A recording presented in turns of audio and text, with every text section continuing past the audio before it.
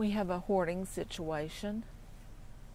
We think possibly a hundred cats and one dog, as we know of right now.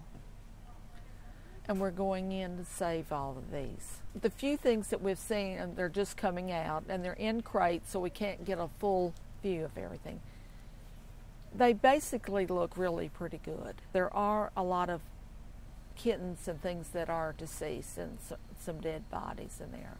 What we're doing is we're assisting uh, Biscuit Legacy. She is an animal cruelty investigator, and she told us about the situation, and we were willing to step in and help. So our team from Humane Society of the Delta physically is here, going in, rescuing all these cats.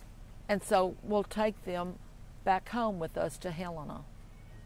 And then we'll let them decompress and, and assess everybody to vet them and then keep them, love them, and find them good homes.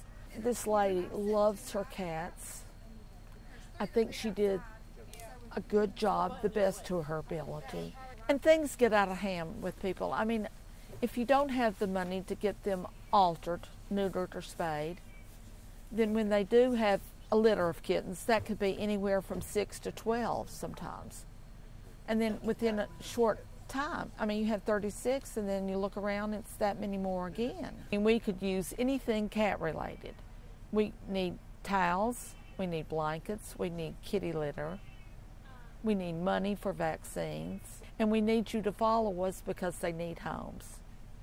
Everybody needs to be involved, but a lot of people just like to say, oh, well, there's a rescue, let them do it. It takes a village to save.